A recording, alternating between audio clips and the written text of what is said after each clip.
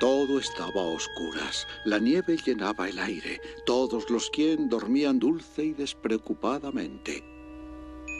Entonces llegó a la primera casita de la plaza.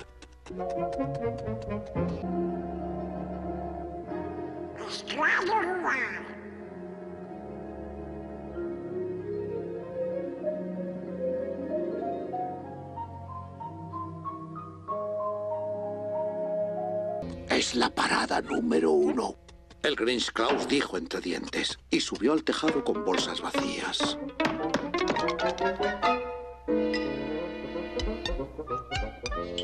Bajó por la chimenea. Era muy estrecho, pero si Santa podía, también podría él. Se quedó atascado una vez, un minuto o dos. Luego sacó la cabeza por el tiro de la chimenea, donde los calcetines de los pequeños quien colgaban en fila. Estos calcetines, dijo el Grinch, son lo primero que desaparecerá. Entonces reptó y se arrastró con la sonrisa más desagradable alrededor del salón y recogió todos los regalos, escopetas, pamplinas, fruslerías y tambores, tablas de ajedrez, futilidades, palomitas y ciruelas. Luego los metió en los sacos y los fue lanzando uno a uno por el hueco de la chimenea.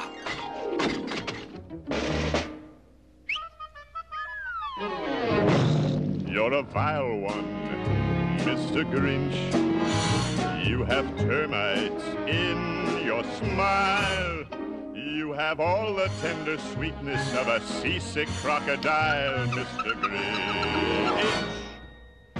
Given the choice between the two of you, I'd take the um, seasick crocodile.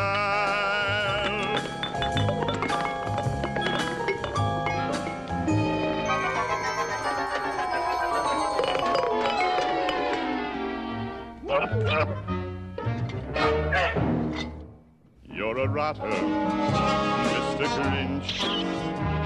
You're the king of sinful sots. Your heart's a dead tomato splotched with moldy purple spots, Mr. Grinch. You're a three-decker sauerkraut and toadstool sandwich with arsenic sauce.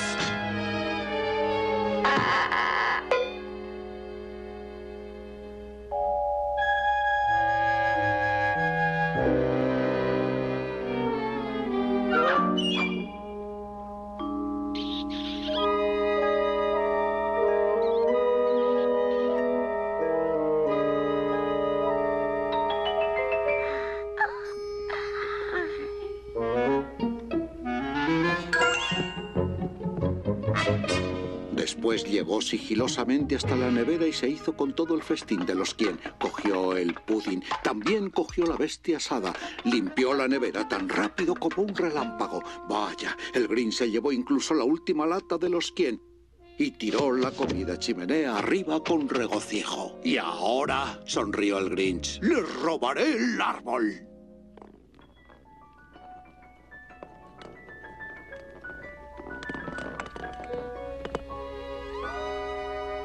Mientras el Grinch intentaba meter el árbol por el hueco de la chimenea, oyó un ligero sonido como el que hace una paloma. Se dio la vuelta rápido y vio una pequeña quien.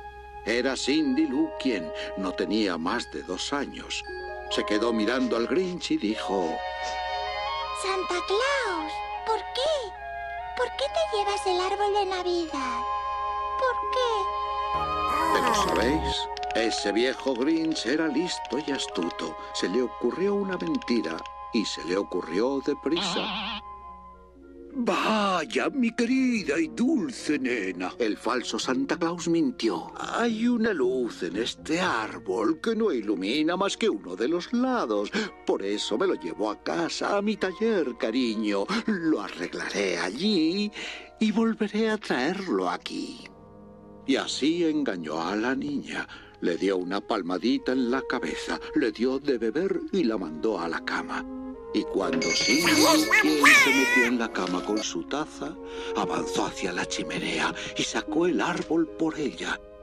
Luego subió él por la chimenea, mentiroso. Lo último que se llevó fue el tronco del fuego. En las paredes no dejó nada, salvo ganchos y alambres.